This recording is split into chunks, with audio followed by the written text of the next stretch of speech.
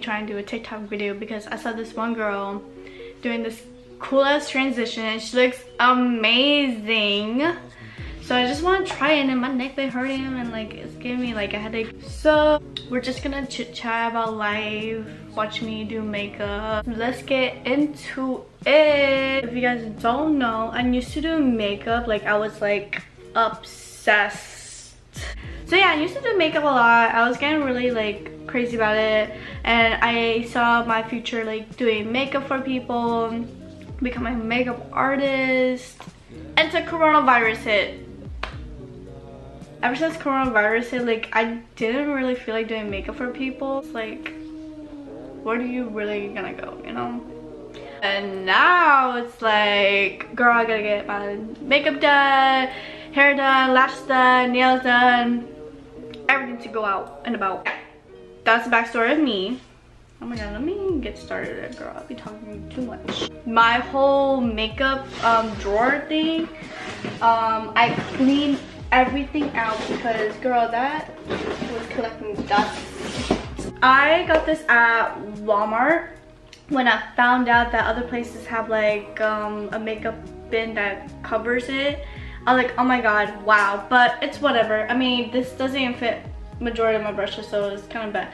But like look how many dust it collected. That is so gross. So you better cover your brushes and clean your brushes. Even like those makeup drawers clean it. Dust can still go inside. But anyways i'm still working at my current job. I really like what i do. It's just like an everyday typical job you know? Nothing really new you know? Same old same old people are still rude and nasty you there's always that like same weirdo like creep or whatever and like what can you do about it like, yeah, you can tell them to stop, like, fucking weirdo. What else? Uh, I'm a temporary dropout college student. So let me tell you, like, what really happened, like, traumatically. So I live right next door to the gym. And I was like, you know, I feel like walking today. I do see like people working whatever, doing whatever their house, looking out and about, and me minding my own business, walking to the gym. And then I was like all right so working out working out and it felt great. So now it's time to go home. Now that's when everything like went downhill. So I'm walking home and I reached to my neighborhood. And uh, mind you I already seen these people already like these um, construction workers or whatever because the owners there are renovating the house doing something about it. I don't care. And i see this guy like he's obviously in his uniform and he sees me and i was like ew stop looking at me. And then I continue to walk home and as soon as I reach home, I see a car pull up in front of my face. He goes, do you know what city we're on? I'm like, the fuck? And I walk backwards, backwards. I'm not trying to like turn around walk because you never know your surroundings. So you don't know if who's around. You don't know what he has on him. Like you just don't know. So then I'm like, what the hell? Because he was literally over in that house working. The owners are home. There are multiple peoples at home. And mind you, like, if you're working as like any type of service where you have to commute or travel whatever you need the address no he knows the address and then I'm like in my head I'm like oh my god this guy's probably trying to kidnap me or maybe he's trying to talk to me and then kidnap me so as a woman, everything was like going around my head. Thank God my brother was home. He saw everything. I ran inside, I locked all the doors, I turned on the alarm and I looked for the cameras and I see him pulling up to my driveway and then pulling out and going back to the house to work. I'm like, dude, what the fuck? Or what if like the other co-workers over there saw me too and then asked them to go up to talk to me and then the man will kidnap me? Exactly you just never know. And i used to have this like neighborhood app. I know what a karen so gross. But it's good to know the white people doing your neighborhood.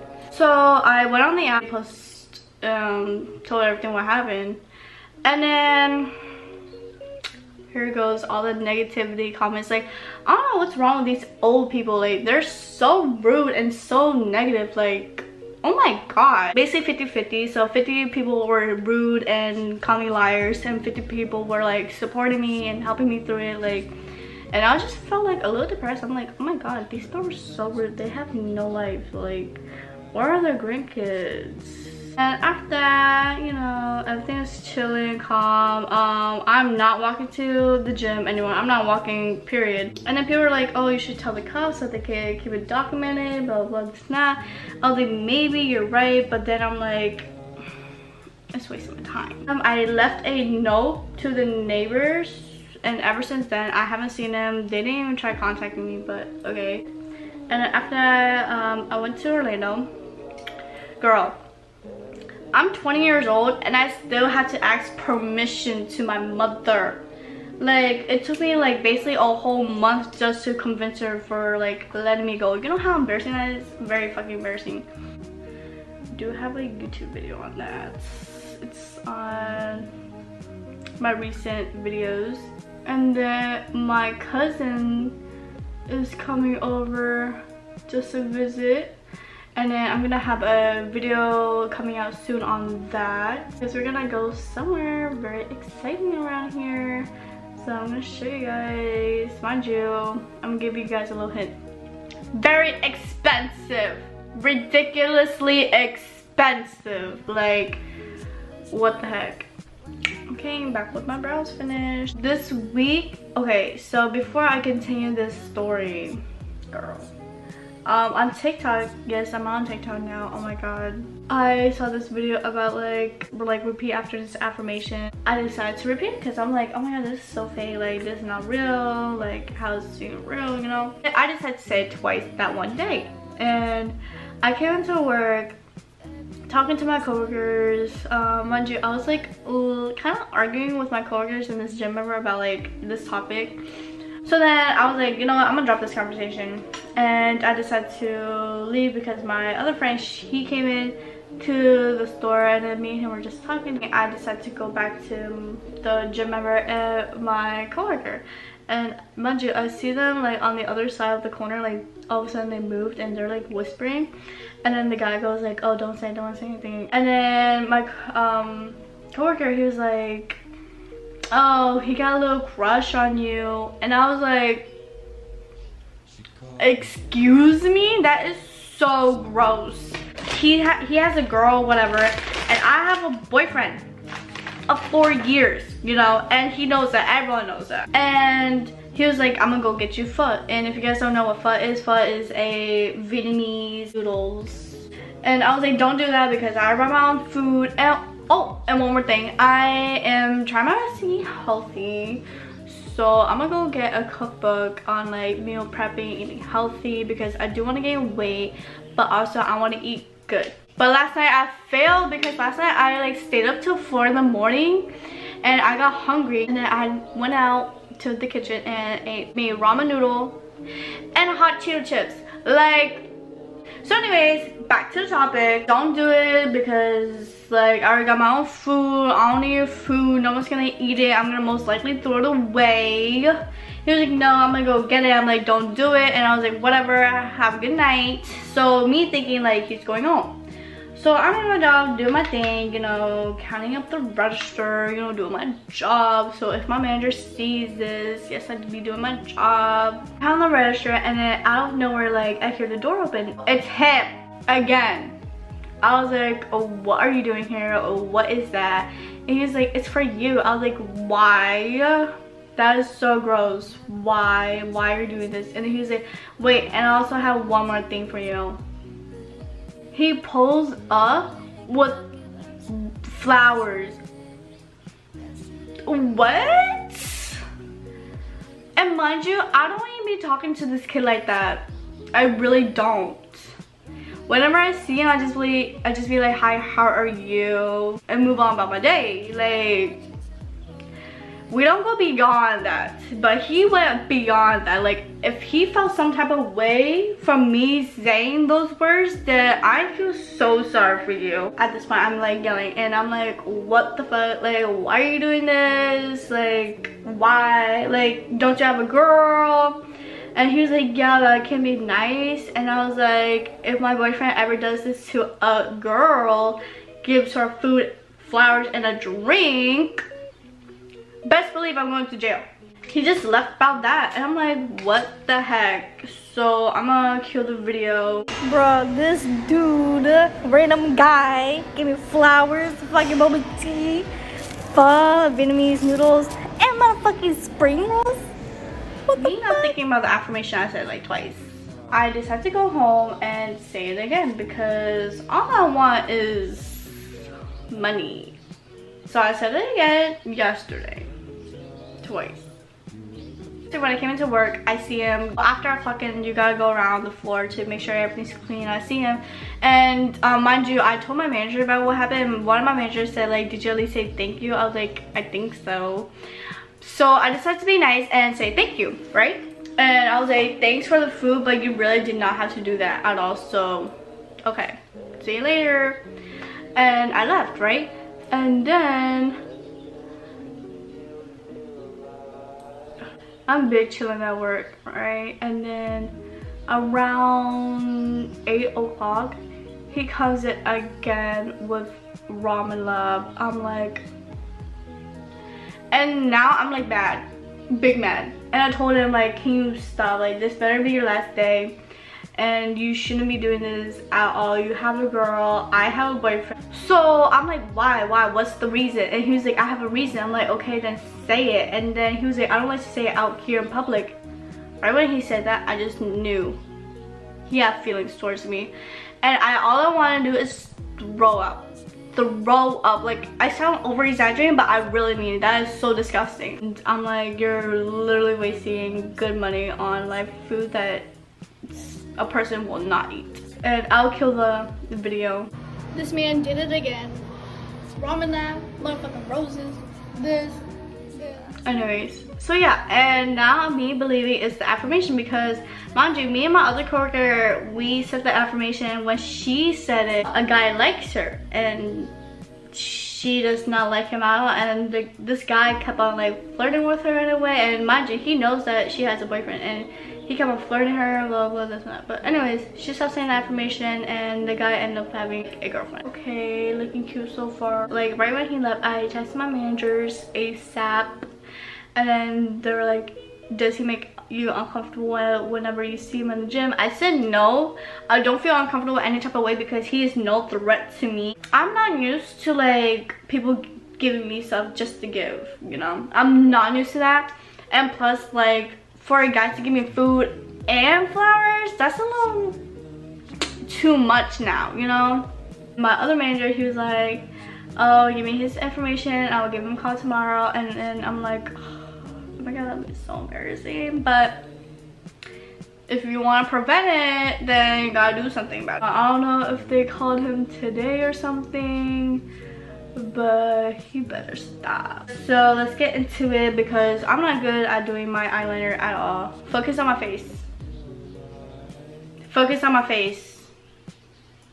Oh, and then at the same time, what if it's not the affirmation? Because the first time he did it, mind you, my coworker that was talking to him that said like, oh, he got a little crush on you. He's a slut. Yep, I said it, he's a slut. But so much respect for but he's a slut. So I also blame it, it was on him. And after blaming it on him, he was like, dude, I probably said something, but like I didn't know he was gonna like do something like that. I'm like, next thing that also happened, so it was like yesterday, yesterday morning, I was on the phone on the IRS because like, where's my tax refund? You know?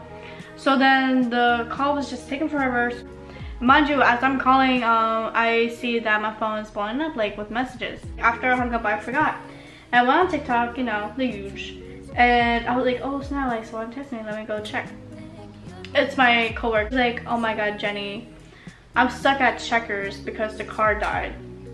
Mind you, the whole time, I know this sounds so bad, but like the whole time, I was laughing, dying because girl, I do not take this girl seriously. Sometimes, like, there be times that I actually do take her seriously and she takes me seriously, but like, we take each other as jokes. Mind you, I do not know how to jump start a car at all. She doesn't either. So then I decided to like look up like how to jump start a car. I was like, you want me to come over there to like for moral support? She was like, I hate you so much. I was literally gonna go over there for moral support. But then I realized I'm going over there driving in my car that works perfectly fine so I was like, you know what? Okay, so let me try to help her jump start the car. Like open the hood there, like inside your car there's like a latch or whatever, you pull that.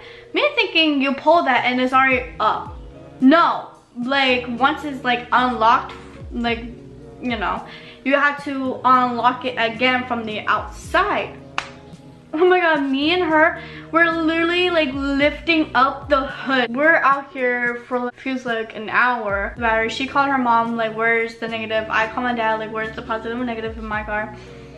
Um, I figured it out. She, we kind of figured out where the negative was, but turns out that wasn't the negative. So thank God we didn't put it there. This guy pulls up and he was like, do you guys need any help? I was like, oh my God, yes, please he helped us under like five minutes.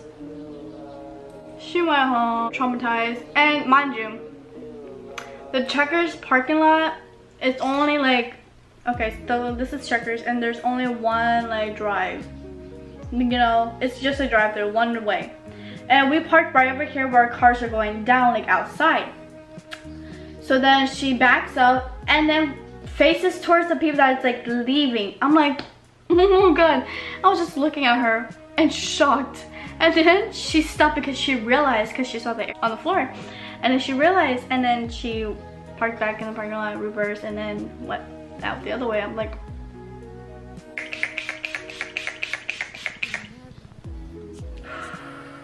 I'm still doing press on nails, so if you guys are interested or know someone who are interested in press on nails, I'll, you know, and then leave my the link down below. All right so let me just do my whole face and get back at you guys. All right the lips. What's going on Jenni? Um i want to try something new because i've been seeing this going around time time and i was like let me try it out. So it's like then trust smile all right so what do you guys think? I don't know about the lips so it just makes me feel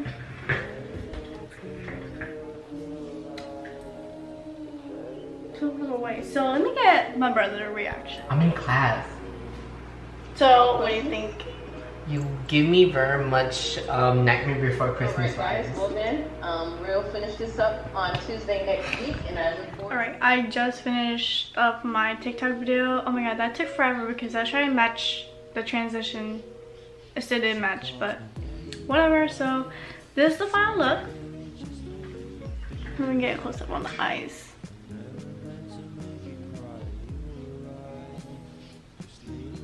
So yeah i really hope you guys enjoy this video. Don't forget to leave a like comment subscribe turn on your post notification for more video every week. See you guys next time